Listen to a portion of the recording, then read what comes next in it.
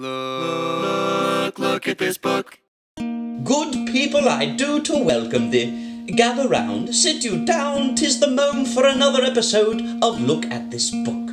The solitary entertainment that propagates lofty learning through endeavoured journeys described in dusty tomes, all disseminated with nary a modicum of expense from bountiful halls of gathered knowledge. You what sorry, now? what What's did that you just mean? We advocate higher learning using free books from the library.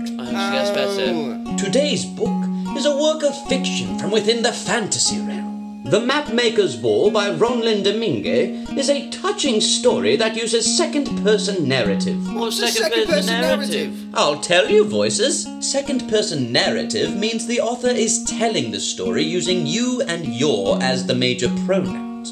This brings the audience in as a character and intentionally implicates them in the story.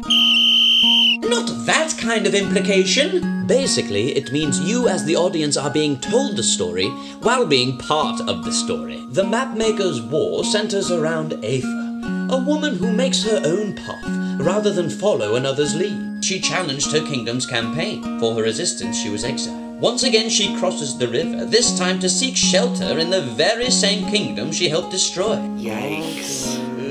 An easy read that can be conquered in a day, and a passionate story to which we can all relate.